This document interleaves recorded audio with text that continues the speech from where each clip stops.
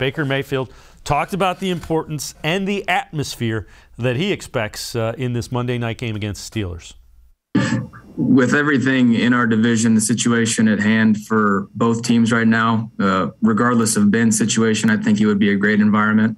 And then to add on top of that, just everything that he's given to that franchise over the years, um, the success he's had consistently for a very, very long time. Um, you know, I have nothing but respect for Ben. Um, and so I'm expecting just an even better environment, both teams to be uh, playing for, you know, the livelihood of the playoffs at hand. So it's just one of those things that everything's aligning to where this game matters quite a bit. Um, but for us, we, we need to handle it uh, like any other game and one play at a time do our job at, at the best possible level we can. And Tim, this is in essence a, a playoff elimination game. Loser is out. Um, the winner needs help to stay in, but if they get the help and the help's not unrealistic, they would still be in the playoffs going into the final week of the regular season.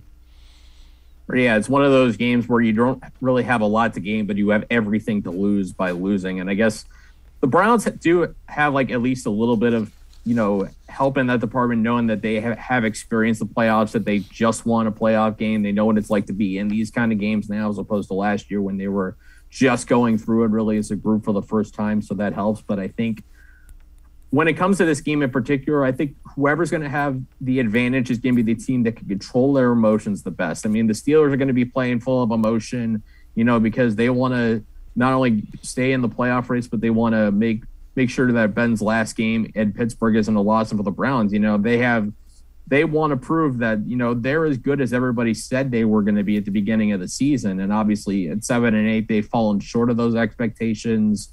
You know a loss ends this pretty much ends the season. It guarantees them a losing season with nine losses going into that last game against cincinnati. And potentially a win does potentially set up that winner take all game between the Browns and the Bengals in week 18 but the Browns obviously can't think that far ahead because the season is Monday night for both these teams Pittsburgh's got the advantage, I think, of uh, you know being at home, the emotional juice of what should be Ben's uh, could be Ben's final game in Pittsburgh, but the Browns do have, I think, a talent edge and you know the experience edge of that the fact that they the last time they went in Pittsburgh, they put up 49 points against the Steelers and sent Pittsburgh home at, in the wild card round of the playoffs. So it really is going to be interesting to see how this this uh, turns out.